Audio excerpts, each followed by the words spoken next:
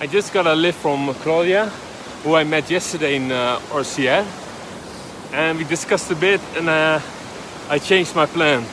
I was supposed to do this hike uh, tomorrow, but I'm doing it today as the weather tomorrow will be bad, and it will be a shame to miss out on this beautiful lake towards the you call uh, the Grand Saint Bernard. So I really wanted to do this in good weather conditions.